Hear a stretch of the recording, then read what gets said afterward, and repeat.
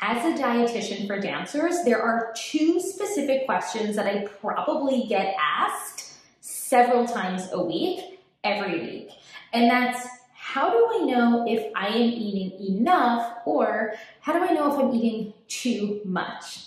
Today, we are covering both of these questions because I want to leave you with solid information so that you can answer them on your own. Let's dive into it.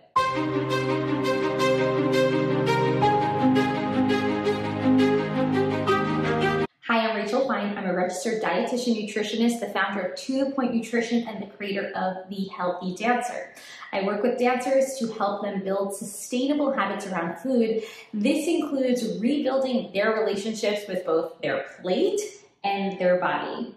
Today, we are talking about some of the most common signs and reasons for why dancers might wonder whether or not they're eating enough or whether or not they're eating too much during the day. And I often find that dancers will view these two questions, either not eating enough or eating too much, in a very dichotomous way. They either think they're eating too little or they're eating too much, and it's so challenging to identify the in between. But today we're going to clarify this because your body can do a tremendous job in communicating with you how much food it needs to support your dancing and your everyday activities. In fact, behaviors like overeating or eating to a point past physical comfort is often one way in which our body is communicating a need to us. And this is where these two different views of this question, under eating versus overeating, really become interlocked they're not so disconnected as we often assume them to be. And really, what that means is that dancers who find themselves overeating or eating to a point past physical comfort are very often coming from a baseline where they might actually be under fueling. So let's dive into some very common signs that you can be on the lookout for to determine whether or not you are actually eating enough as a dancer. First things first, are you constantly thinking about food? Now, there's a difference between feeling excited about food or thinking about an upcoming meal and having ruminating thoughts about food and your meals, especially when those thoughts are also overwhelmed with perhaps stress and anxiety constant thoughts about food to the point where you're really struggling to even focus in your classes or pick up choreography can be a sign that you're not getting enough of it at your baseline. These ruminating thoughts can also set the stage for a major increase in craving. So when dancers tell me that they are struggling with consistent and overwhelming cravings throughout their day,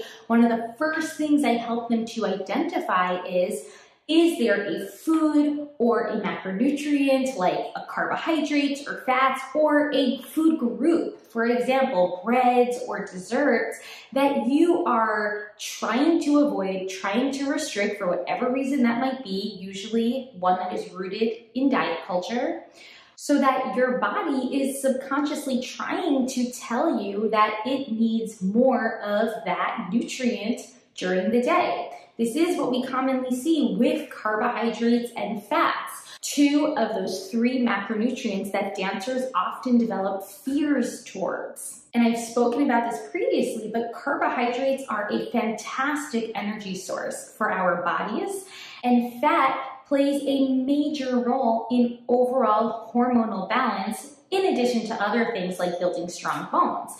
But if either of these macronutrients is limited in your diet, then your body is going to ultimately communicate that it needs more. And that communication can be in the form of those ruminating, overwhelming thoughts that eventually turn into cravings. Next up, for dancers who get a period, missing or irregular periods, or a period that hasn't started yet by adolescence, could be a major sign that you're not eating enough throughout your day. One of the first things that I am working on with the dancers in the Healthy Dancer program is making sure that their body has enough energy needs to support not just their physical dancing, but also their body's metabolic needs. And often that means for dancers who get a period, supporting regular menstruation.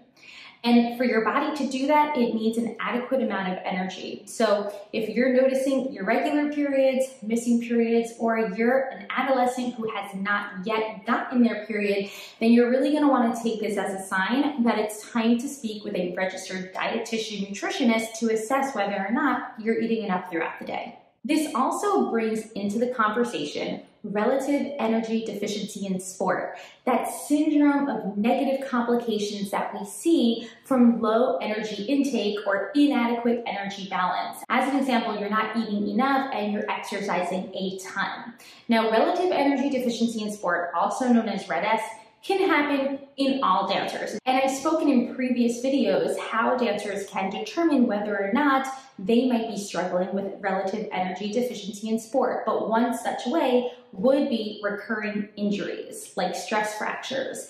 If you feel like you're struggling to heal from injuries or you're just experiencing recurring injuries, then it might be a sign that we need to boost your intake throughout the day. Another sign that you might not be eating enough is unexplained digestive discomfort. There's a lot of emerging research that's showing us that feelings like bloat and constipation, which are often associated with functional digestive disorders, might be associated with disordered eating. Functional digestive disorders can often go misdiagnosed for dancers. One such example is IBS or irritable bowel syndrome, and functional digestive disorders shouldn't be confused with other digestive disorders like colitis and Crohn's disease both of which, unlike with our functional digestive disorders, have very clear markers for diagnosis. So this is why we often see misdiagnoses or unexplained diagnoses when it comes to those functional digestive disorders. And just to clarify, these can often be experienced as a compilation of negative symptoms like gas, constipation, and even diarrhea. What's super interesting is that the research shows us that 98% of those who struggle with disordered eating also struggle with some sort of digestive disorder. And disordered eating in of itself has been shown to be a cause of some of this digestive discomfort. So if you're experiencing unexplained discomfort, then this might be another clear sign that it's time to work with a registered dietitian to better assess your daily meal plan. The confusing thing with a lot of these symptoms is that many dancers who experience them will think that they need to turn to elimination type diets to help relieve the discomfort, when in fact, eliminating these very foods might be worsening or exacerbating those symptoms. So if you are experiencing unexplained digestive discomfort, then it could be a telltale sign that it's time to meet with a registered dietitian to better assess your daily meal plan. Another sign that you might not be eating enough, and this is one I've covered in previous videos, but sometimes dancers forget to make the connection, is you feel like you are emotionally eating more often than not. Turning to food to navigate through heightened emotional triggers or emotional distress can be driven or exacerbated by under eating or a baseline that just isn't adequately fueled. So though food in of itself can be a coping tool to temporarily relieve that emotional discomfort, that behavior of eating when you are experiencing emotional distress will be exacerbated if your baseline intake is too low. And this is often where we start to see dancers eating to a point past physical comfort or overeating in these very instances. Another sign, and this one's a bit more obvious, is you're just not feeling energized in class. Now you could be moving through the barre, feeling pretty drained, or by the time you get to Petit Allegro, you can barely lift your feet off the ground. So really start to consider your energy levels in class as a telltale sign of whether or not you need to get more food in. Another less common reason is you're trying to abide by those clean eating lifestyles. So I've said it many times before, and I get a lot of pushback for this, but I really stand behind what I say.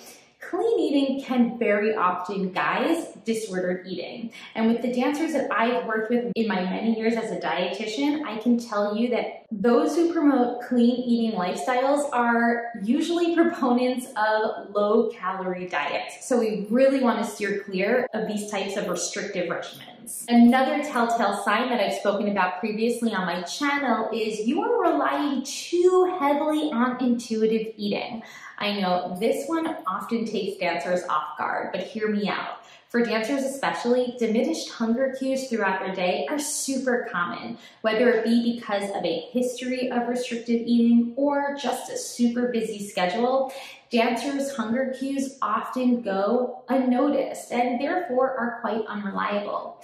So if a dancer is unknowingly attempting a quote unquote intuitive eating plan, then they could be risking underfueling, especially if they're not experiencing reliable hunger cues throughout the day. So this is where proactive fueling comes into play and you can read more about it on my blog. Another telltale sign is that you're always feeling cold.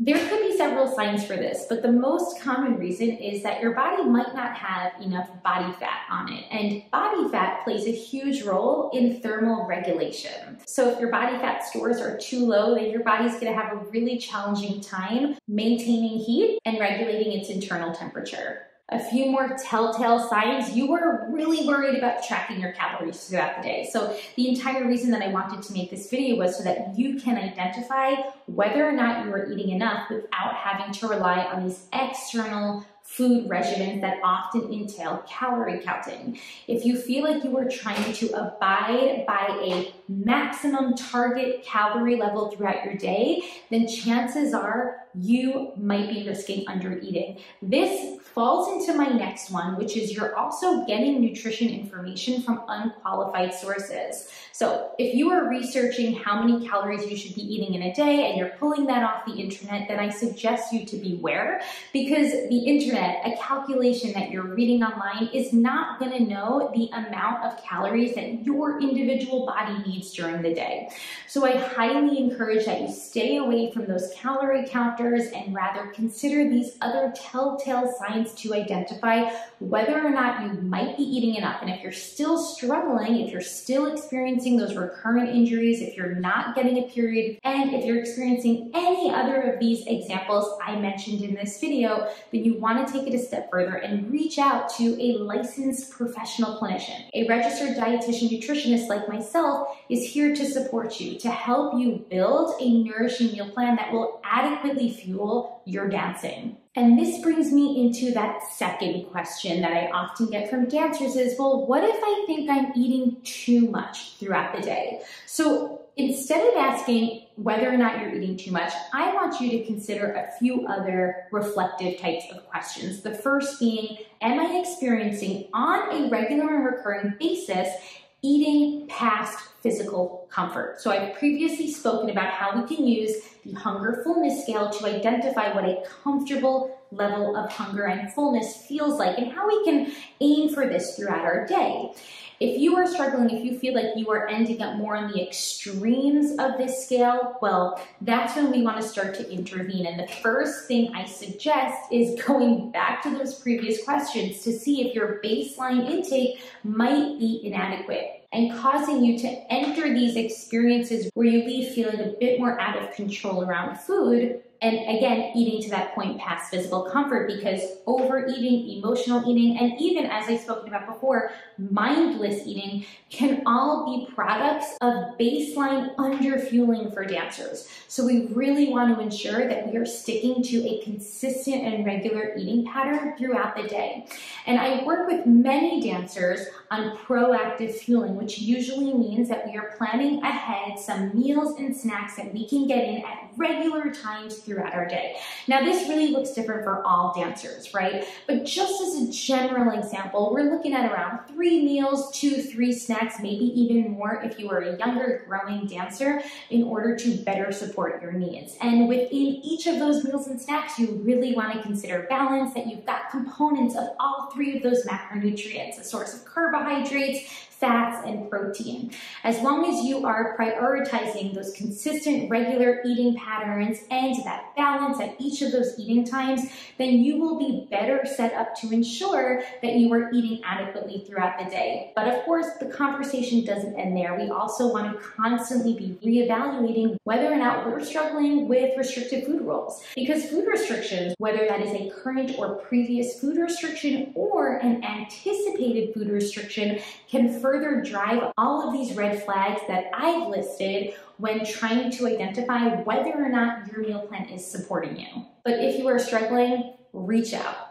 I'm here to support you as you learn how to fuel. I've got a ton of different resources from free resources to paid resources economical options that you can decide on so that you can start the work of building a supportive meal plan for a dancer. I hope you found this video helpful and if you did, please hit the subscribe button so that you will be the first to know when new videos post. I'll talk to you soon.